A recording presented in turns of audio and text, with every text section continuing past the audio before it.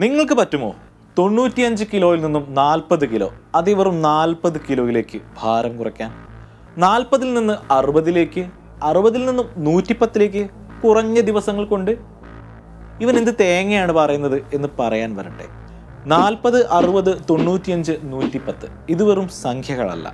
ഒരു സിനിമയ്ക്കായി ഒരു നടൻ തന്റെ ഭാരത്തെ നിയന്ത്രിച്ച കണക്കുകളാണ്.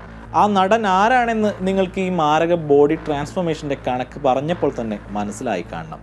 അതിനു മുൻപ് കുറച്ച് പിന്നോട്ട് പോകാം. ആയിരത്തി തൊള്ളായിരത്തി അൻപതുകൾ തമിഴ് സിനിമ പിഞ്ചു കുഞ്ഞായി പുഞ്ചിരി വിടർത്തി കൈകാലുകളിട്ടടിക്കുകയായിരുന്നു. അക്കാലത്താണ് ആ കുഞ്ഞിനെ എടുത്തൊന്ന് കൊഞ്ചിക്കാൻ സിനിമാ മോഹവുമായി വിനോദ് രാജ് പരമക്കുടിയിൽ നിന്നും അക്കാലത്തെ വലിയൊരു വിഭാഗം ചെറുപ്പക്കാരെ പോലെ തന്നെ നാടുവിട്ടത് മദിരാശിയിലേക്ക് പക്ഷേ വിനോദ് നാടുവിട്ടു പോയത് വലിയ വിജയമായിരുന്നില്ല. സിനിമയിലെ ചെറിയ വേഷങ്ങളിൽ തന്റെ വലിയ സിനിമാ മോഹം വിനോദിന് കുഴിച്ചുമൂടേണ്ടതായി വന്നു. എന്നാൽ വിനോദിന്റെ സിനിമാ സ്വപ്നം വിനോദിന് സ്വപ്നം പോലും കാണാത്ത ഉയരത്തിൽ സത്യമായി കാണാൻ കഴിഞ്ഞു തന്റെ മകനിലൂടെ. ഈ മകനെ തമിഴ് മക്കൾ ഒരുപക്ഷെ മലയാളികൾ അതിലേറെ അങ്ങ് ഇഷ്ടപ്പെട്ടു. ആരെക്കുറിച്ചാണ് പറയുന്നത് എന്ന് തുടക്കത്തിൽ തന്നെ മനസ്സിലായി കാണും. ചിയാൻ വിക്രം.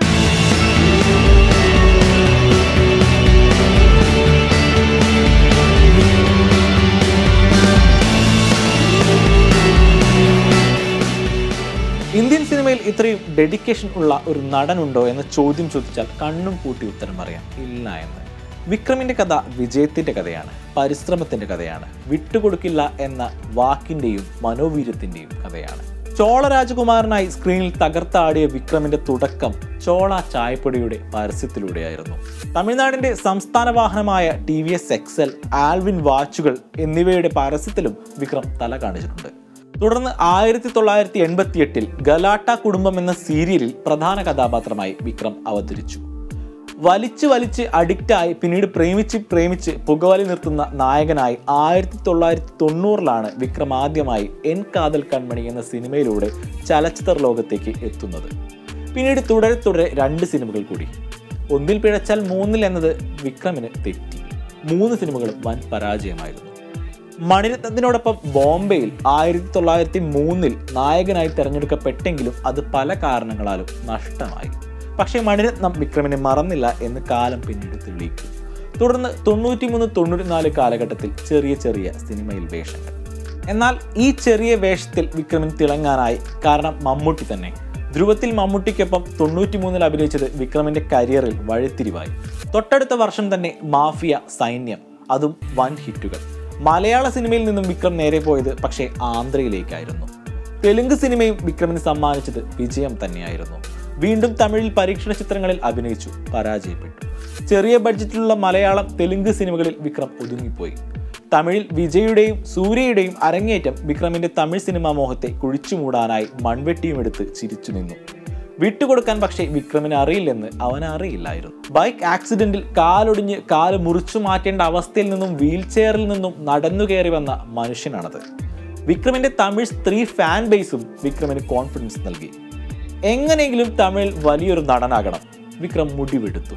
അതിനായി അയാൾ ക്യാമറയുടെ മുന്നിൽ നിന്നും മൈക്കുകളുടെ മുന്നിലേക്കാണ് പോയത്.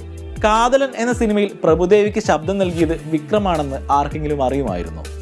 അജിത്തിന്റെ കരിയർ തുടങ്ങിയ അമരാവതിയിൽ അജിത്തിന് ശബ്ദം നൽകിയതും വിക്രം തന്നെയായിരുന്നു.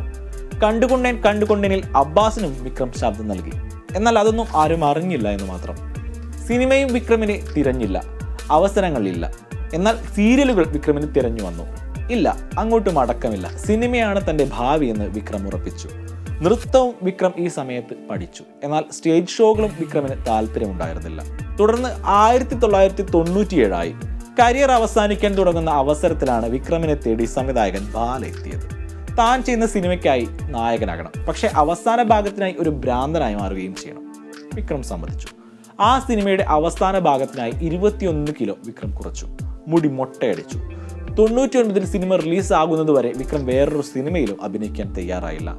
തന്റെ ജീവിതത്തിന്റെ ഏറ്റവും മോശമായ കാലഘട്ടം എന്നാണ് വിക്രം ഈ സമയത്തെക്കുറിച്ച് പറഞ്ഞത്.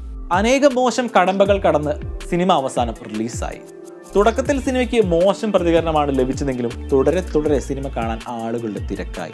നൂറ് ദിവസം പല തിയേറ്ററുകളിലും സിനിമ ഓടി അതുവരെ തെരുവിൽ ആരും തിരിച്ചറിയാതെ നടക്കാൻ സാധിച്ചിരുന്ന വിക്രമിനെ ആരാധകർ പൊതിഞ്ഞു തുടങ്ങി. വിക്രം ഒരു സ്റ്റാറായി മാറിക്കഴിഞ്ഞു. തമിഴ്നാട് സർക്കാരിന്റെ മികച്ച നടനായി പ്രത്യേക അവാർഡ് വിക്രമിന് ലഭിക്കുകയും ചെയ്തു. നിരവധി ഫിലിം ഫെയർ അവാർഡുകളും വിക്രം കരസ്ഥമാക്കി. പിന്നീട് വിക്രമിന് തിരിഞ്ഞു നോക്കേണ്ടതായി വന്നില്ല. തുടർന്ന് വിക്രമിന്റെ കരിയറിലെ ഏറ്റവും മികച്ച സിനിമയായ അന്യൻ ഇറങ്ങി. അന്യനെ കുറിച്ച് പ്രത്യേകിച്ച് പറയണ്ടല്ലോ. വൻ വിജയം തമിഴ്നാട്ടിലെ മികച്ച നടനായി വിക്രം മാറി. കാശി പിതാമകൻ സ്വാമി രാവണൻ ദൈവത്തിരുമകൻ എന്നീ സിനിമകളിലും തമിഴ്നാട് വിക്രമിനെ മികച്ച നടനായി തിരഞ്ഞെടുത്തു. ഐ സിനിമയിൽ വിക്രം ചെയ്ത ബോഡി ട്രാൻസ്ഫോർമേഷന് അന്താരാഷ്ട്ര മാധ്യമങ്ങൾ വരെ ഏറ്റെടുത്തു. അവസാനമായി വിക്രമിന് വാരിയലിന് പരിക്കുപറ്റിയ വാർത്തകളാണ് പുറത്തു വരുന്നത് എന്നാൽ ആർക്കും ഭയമില്ല. കാരണം ചിയാൻ വിക്രം മടങ്ങി വരും പുലി പതുങ്ങുന്നത് ഒളിക്കാനല്ല കുതിക്കാനാണ് എന്നത് വിക്രമിന്റെ കരിയറിനെ സംബന്ധിച്ച് സത്യമാണ്. കാരണം ഓരോ പരുക്കുകളും ട്രാൻസ്ഫോർമേഷനുകൾക്കും ശേഷം വിക്രം മടങ്ങിയെത്തിയിരുന്നത് വൻ വിജയങ്ങളുമായിട്ടാണ്. കാത്തിരിക്കാം ചിയാന്റെ മടങ്ങി വരവിനായി